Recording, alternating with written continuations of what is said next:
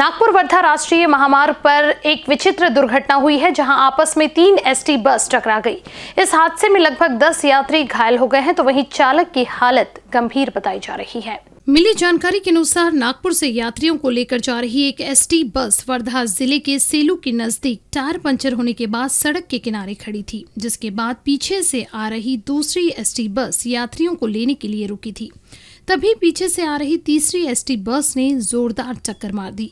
इस हादसे में तीनों बस आपस में टकरा गई, जिससे बस में सवार 10 से ज़्यादा यात्री घायल हुए हैं, जबकि एक बस चालक भी गंभीर रूप से जख्मी बताया जा रहा है। इस हादसे से नागपुर वर्धा मार्ग पर कुछ देर के लिए अफरा तफरी मच गई थी।